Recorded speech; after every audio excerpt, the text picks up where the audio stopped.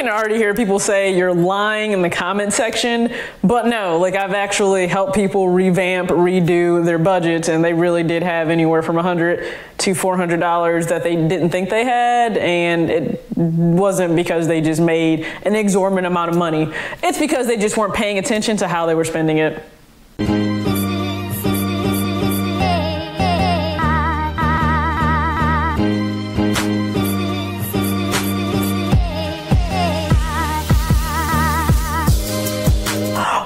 Everybody, it's your girl TJ back with another video, Talks with TJ, aka TJ2 Swoosh Chains. What is going on everybody? It is a Monday, so thank you again so much for tuning in to my channel to start off your week. Please make sure that you are entering the 10K giveaway. All of the details are below. Just as soon as we hit that, I will make sure to pick the winners, do the announcement, and we will just keep surging ahead. After that, I really just, I'm probably just gonna not even focus on the numbers and focus more so on making sure that I continue to provide you guys valuable content content. This video should be a short one. Uh, I really do wholeheartedly believe in the statement that I made in the very beginning of this video, and it's based off of experience. So, no, I am not by actual profession uh, a financial planner. They, a lot of times, deal with investments and things of that sort. Once again, I love just helping people create a budget. It's a simple plan. Like, I like implementing plans, just to let you know a little weird quirk about me.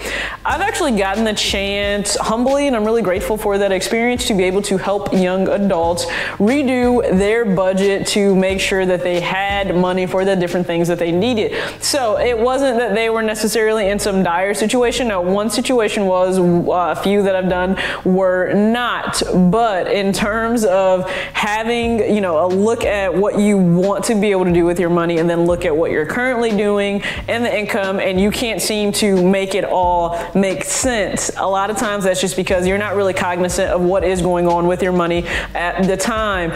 How easily does this happen? If you are just bored and you choose to go browse around, you can browse around an actual store, you can browse around online, you can be in a convenience store just to kill time. I know parents end up doing this if their kids are at a sporting practice or something and you don't want to run all the way back across town, so you may just hop into the mall, walk around, and you don't understand that if you are spending $10, $20, $30 here, it adds up. If you are not aware of different things that you're spending money on, you may think that there's no way I can afford X, Y, or Z, but there really is that extra 100 or 200 or 300 that you need in your income already. You just have to find the leak, as Dave Ramsey would say. Now, he calls it a leak in the budget. Like, where have you sprung a leak? Where is the money kind of just seeping out of where you are not aware or you're not in control of it? I've done that. I had somebody who wanted to do a number of different things, whether it was fitness related, self care, uh, make sure that they had the, the means to pay for uh, a new car that they were going to have. Once again, it's not based on what my preference would be of how people spend money, but it's based on what do you want to do with your money because your budget should be tailored for you. You, you, you, not at what anybody else says. I know they have the rules of the 50, 20, 30.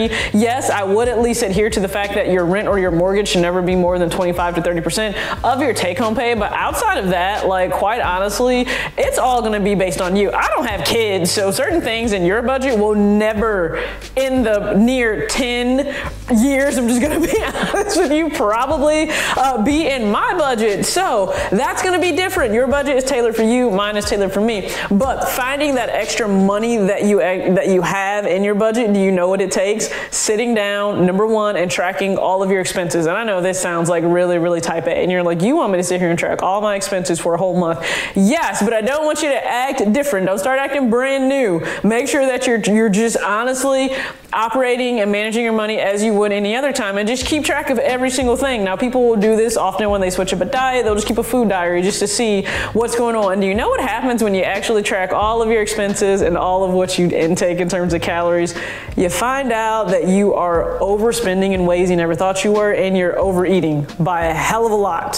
So both of those are probably going to be real shocks to your system, but it's okay. Self-awareness is growth. It is necessary to do better. So make sure that you, number one, just go ahead and track everything that you were spending for an entire month and then take a look at all of that because what you thought you were maybe spending on eating out, you could be spending an extra $50 more. What you thought you were just spending on, I don't know, you thought your bills were intact. And let's just say, you haphazardly pay them when you want to pay them, and then you have late fees, and you're just like, oh my goodness, now I've acquired another $25 in late fees. Well, that's 75 right there.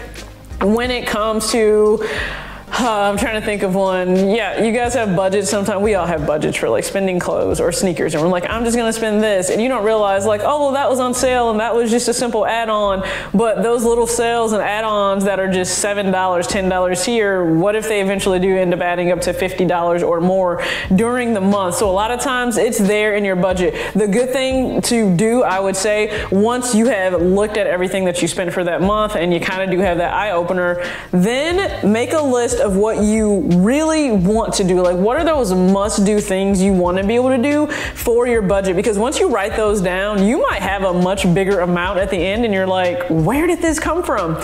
That's from actually having a plan with your money. And I've done this where there was still an extra $400 sitting there once the must haves are taken care of. And that's usually the first four. So that's taking care of the roof over your head, utilities, um, that could also, you know, transportation, and then, you know, food food. Once those are taken care of, and then if you have minimum debt payments, always account for those. And then if you want to save an amount, which I hope you are, every single month, go ahead and do that. And then some basic sinking funds like a car maintenance fund is something I would always say have. Once you're done with that, I've really had people when I helped them do the budget, they had an extra $400 just sitting there. And I was like, all right, so now based on the things you told me you wanted to be able to do with your money, here's how we can do them. And you allocate that $400. Now, believe it or not, this is all detailed in my budgeting ebook. And so many of you have reached out to me to say, hey, I watched a random video on X, Y, or Z on your page and you mentioned your ebook and I want to take a look at it. Thank you for that. It is 100% free and I'm always happy to send it to you guys because I break down how the person has a plan and then how they can actually allocate that extra money. Now, it is based in the book on SET, which is